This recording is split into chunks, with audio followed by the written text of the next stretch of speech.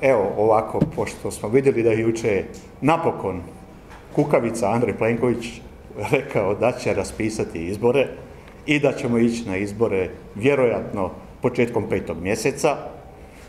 U ime domovinskog pokreta mogu reći da smo mi spremni bili i jučer za izbore, a ne danas. E, podsjetit ću vas da je domovinski pokret 23.2.2023. godine u Sabor doveo Andreja Plenkovića i tražio njegov opoziv.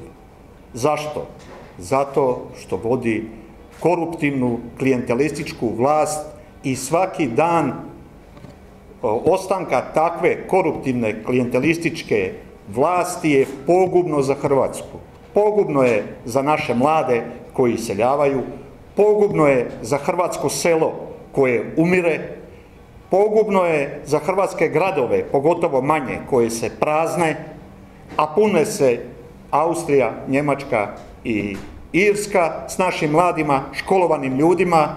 Znači svaki dan sa ovakvom vladom je zapravo korak unazad.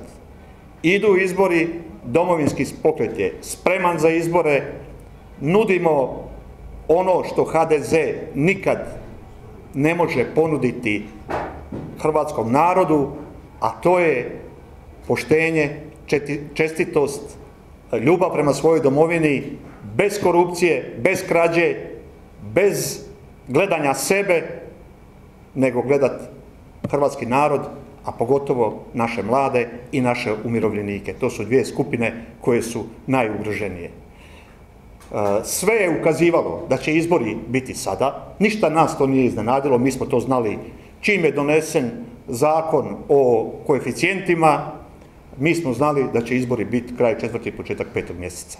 Samo Andrej Plenković i njegovi ministri su se grdo prevarili. Ako oni misle da su naše medicinske sestre, naši doktori, naši učitelji, naši profesori, naši vojnici, naši policajci, da su oni idioti i da će nasjest na nešto što će mu neko dati povećanje plaće od 80 eura ili 100 eura, da će zaokružiti koruptivni HDZ koji je pokazao da mu milijarda kuna ništa ne znači, znamo o slučaju INA, da su zamračili milijarde kuna, da ni danas ne znamo što je s tim, je li ta milijarda kuna vraćena u državni proračun, jel su procesuirani ti koji su krali, apsolutno ispod radara ostaje. Ako oni misle da će prevariti hrvatskog radnika pošteno koji radi za svoju plaću, što će mu dati neku mrvicu, grdo su se prevarili. Grdo su se prevarili. Taj radnik, ta medicinska sestra koja radi 12 sati od 7 ujutro do 7 naveče ili noćne smjene od 7 naveče do 7 ujutro, ona je krvavo zaradila svoju plaću. Nije njoj Andrej Plenković apsolutno ništa dao, niti ova hrvatska vlada. Ako je Andrej Plenković ili njegovi ministri ako su ikom išta dali iz svog džepa, evo, slobodno ih ja pozivam za ovu govornicu, nek dođu i nek kažu koliko su ljudi pomogli, osobno iz svog džepa, od svoje plaće, nek dođu i nek kažu tu, a staću ja pored njih ne volim se hvaliti, niti ću govoriti, ali ako je neko spreman od, tih velikih domoljuba, velikih Hrvata, ako je neko spreman stati ovdje pored mene, ne kaže što je u ove četiri godine iz svog džepa uzeo i dao nekome, a ja ću stati pored njega i ja ću reći što sam ja napravio ove četiri godine. A imam sto puta manje od njih i ne treba mi više. Što će mi? Šta će mi pet stanova, pet vikendica, pet automobila, što će meni to? Nikad mi nije to trebalo, nikad nisam gledao materijalno i nikad neću gledati materijalno. Ne može me promijeniti niko i neće me kupiti niko. Ovo što su oni zamislili i juče se razotkrili, meni je to izuzetno drago. Izjava Tome Medveda, potpredsjednika vlade, potpredsjednika HDZ-a, velikog domoljuba, koji je juče rekao mi idemo sa svojim koalicijskim partnerima. Tomo Medvedu sretnoti sa SDSS-om, sa Vojislavom Stanimirovićem, s Draganom Jeckom, Milordom Pupovcem i ostalim. U Hrvatskom ustavu stoji da se osam manjina e, bira u Hrvatski sabor.